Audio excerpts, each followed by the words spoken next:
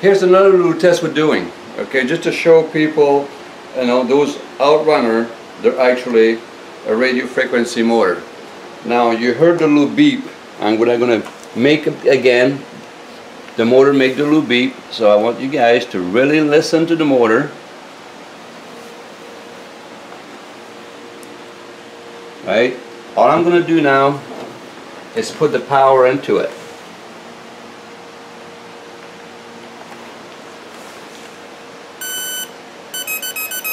Now see you hear the motor? Alright. Now we'll disconnect that. Now we're going to plug where I plug the motor to turn it to two speaker for my surrounded sound. Now this guy is crazy.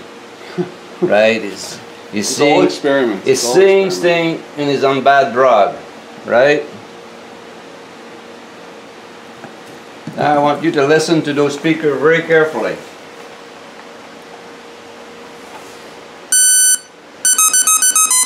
On both sides of the speaker, this is a perfect tune.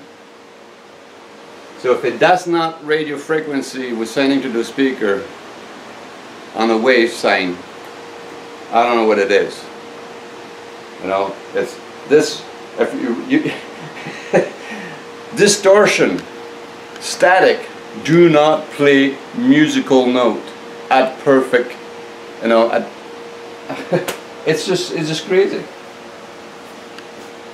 You know, here's another experiment and if you people don't believe me, we'll do it again. Listen to the noise. Right? Now I'm going to disconnect it, the speaker, and I'm going to connect it back to the motor and I will make the motor sing again and I will make it run so we know we're not playing game with people.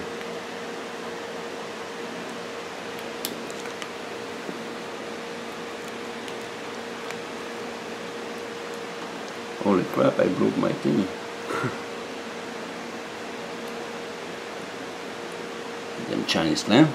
Okay, so we're going to reply that. You will please sound.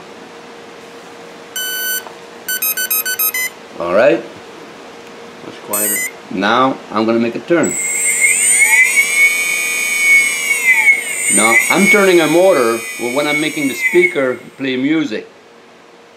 Now think about it for a little while. Just think about it for a little while. It's, it's very simple. Those goddamn motor they runs on radio frequency. Now, is anybody out there prove me wrong? I'd like to see that. There it is. Outrunner for plane. Runs perfectly with frequency. Radio frequency. There we go. So hopefully that will be seen, talk about in the video. Alright. So now we just came back from the stove and uh, more a little bit of explanation of what, you know, what